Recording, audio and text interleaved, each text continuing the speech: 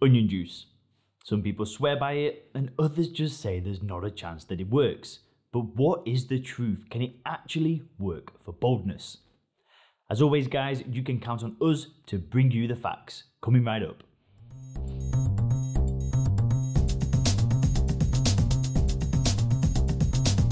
Hey guys, Leon here, and welcome to the HairGuard YouTube channel. On this channel, we create science-backed videos all about how you can combat hair loss and regrow healthy hair. If you want updating on any of the latest hair loss news or any breakthroughs that we find out about, then do make sure to hit subscribe. And guys, if you're watching this video on onion juice because you're worried about your hair loss, then what you can do is click the link in the description to take the HairGuard hair loss quiz. You'll answer a few short questions about yourself and your hair loss, then you'll receive free, personalized, expert advice on how to regrow healthy hair.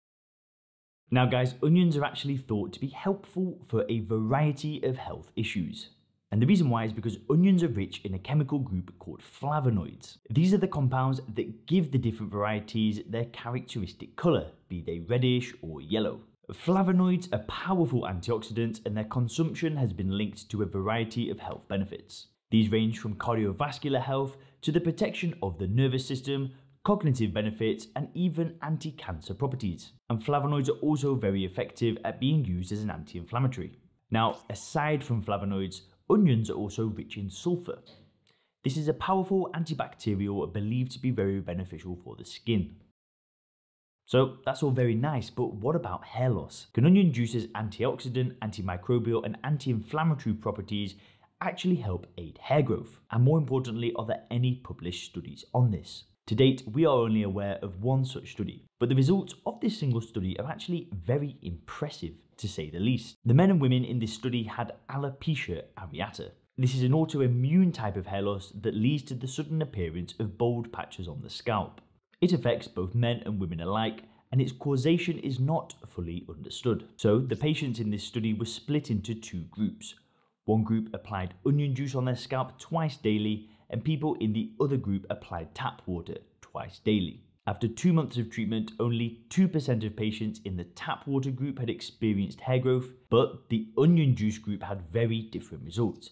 A whopping 87% of patients in this group had full hair regrowth. Needless to say, the difference between the two groups was highly statistically significant. Now, the authors of this study had a hard time accounting for these depressive results. The molecular mechanism by which onion juice accomplished this regrowth is not fully understood. It might have to do with the flavonoids or the sulfur, or it might be something else entirely. We cannot know for sure at this point. So what about the side effects of using onion juice? Well, this is a natural treatment, so there are no serious side effects. Certainly nothing systemic. The most common reaction is mild redness and itching, and this is likely to occur in around half or more of users. If you find that this irritation is too intense, you can always weaken the onion juice by adding a little bit of water. Alternatively, you can reduce the application frequency. Speaking of which, just how do you apply it? So there are two basic ways that you can add onion juice into your hair care routine. One is to apply it directly onto the scalp on its own. The other is to simply add it to your shampoo. But if you decide to add it to your shampoo, we recommend you use a natural or homemade shampoo because mixing it with an industrial shampoo full of harsh chemicals like sodium lauryl sulfate kind of defeats the purpose, don't you think? The two most common ways to extract the juice from onions are A. Putting them in a juicer and then straining the juice, or B. Cutting the onions into smaller pieces and then putting them into a garlic press. As with all topical treatments, it's important to massage the juice into the scalp and allow it to sit before rinsing out. We recommend allowing it to sit for at least 15 minutes, but some users leave it on for longer, even overnight. Now guys, we do need to mention something. While you're not going to get serious side effects from onion juice, you should be prepared for two things. One is the smell and two is the tears. The smell in particular may be more and more difficult to get rid of the more that you use the onion juice. So that's definitely something you might want to consider. For example, in the study that looked at onion juice for alopecia areata, about half of the patients in the onion juice dropped out of the study within two months.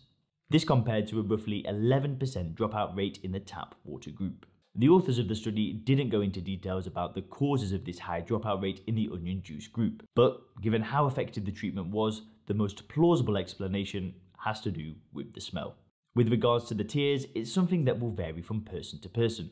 So try it once and you can see if it's something that you can tolerate. Now, onion juice is one of those areas where there isn't a lot of published research. So there's a lot of anecdotes and stories people share online. And bear in mind guys, to date there is nothing published on its effectiveness against male pattern baldness. The alopecia areata study is powerful stuff, no doubt about it. But we would like to see some direct research on people suffering with androgenetic alopecia. Now, until that day, anecdote is all that we have. And the more that the testimonies add up, the better idea that we can start to form about this stuff's efficacy. And speaking of anecdote, a lot of people who use the juice on their scalp report a dramatic and sudden reduction in their dandruff. So just let us know in the comments, have you tried onion juice in the past or are you still on it to this very day? And make sure to click the videos on the screen right now to learn more about scalp tension and hair loss.